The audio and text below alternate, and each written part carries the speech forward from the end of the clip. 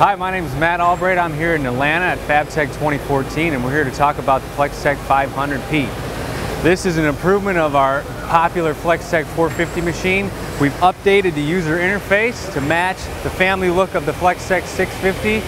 We've also added a 50 amp um, improvement on the duty cycle. So this is now 450 amps, 100% duty cycle.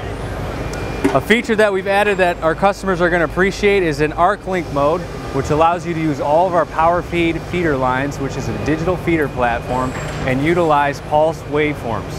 So if you have any questions, go to lincolnelectric.com.